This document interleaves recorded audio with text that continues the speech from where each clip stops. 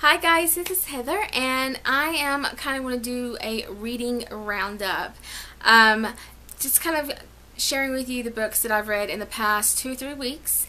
Um, starting off with books that I read on the weekend of December 20th through the 22nd, which was the Christmas Booktubeathon. I have two videos on my channel um, going over the Booktubeathon, like the day one and day two. I didn't get to do a wrap up of the Christmas Booktubeathon because it was Christmas and family and I was just too busy. So I'm going to start off kind of the books that I completed from that Booktubeathon and then the books that I've read up until now, which I'm currently in another readathon. It's called Bout of Books. I'll put the information to that in the down bar below so you can check that out. But I am currently in the middle of that readathon and I want to include some of the books that I have read for that so far. But anyway, starting off with what I read and completed for the Christmas Booktubeathon, I am going to show you Clockwork Angel by Cassandra Clare. I had only like 170 some pages left in this book.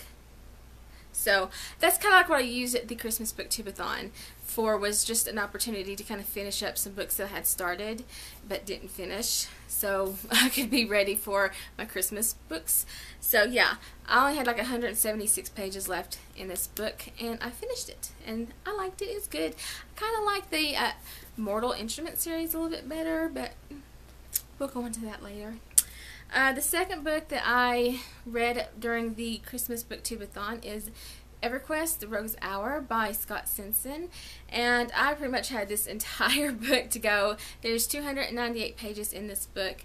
And um, I had the, the, first chapter read, so I ended up having to read like 280 pages or something like that um, in this book over Christmas. And this is what took me so long during the booktubeathon because I had so much to read in it in such a short period of time.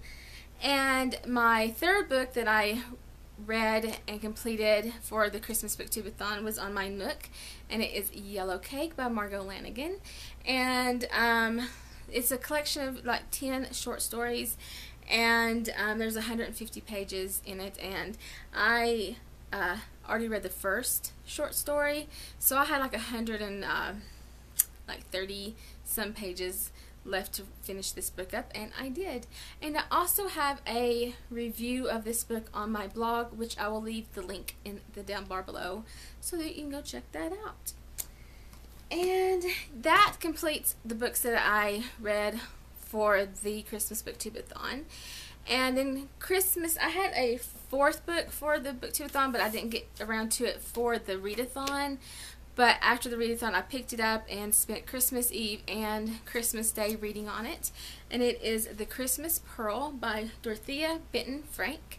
And it's not too big of a book. It has, not counting the recipe pages, um, 139 pages in it. So it wasn't really a big book to read. And it was really just a light easy read. And I absolutely love this story. This is definitely something that's going to be a part of my Christmas tradition from here on out, just reading this book for Christmas. Although it is totally readable throughout the year because the story is it's just very endearing and sweet story and I think the um, the meaning in the story can be appreciated year round it just kind of happens to be set up in the Christmas season. So yeah, I will be doing a my take on this book on my blog, and when I do, um, I will link it in the down bar below, so you can check that out as well. And for Christmas, I got some books. I knew I was I knew I was going to get some books for Christmas presents. That's why I was trying to finish off some of these other books. Um, and I got Shadow and Bone by Leah Bard Bardugo. Bardugo. I'm sorry, I'm, I know I'm mispronouncing that. But I finished this book up, and oh my gosh, I absolutely loved this book, and I cannot wait to get Siege and Storm, which is book two in the series.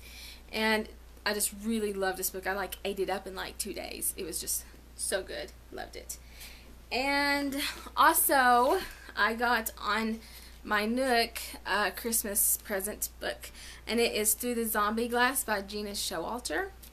And I love I'm really enjoying this series. Um, the first book is Alice in Zombieland and Through the Zombie Glasses book 2 in this series. And I loved that book so much and I got to read that.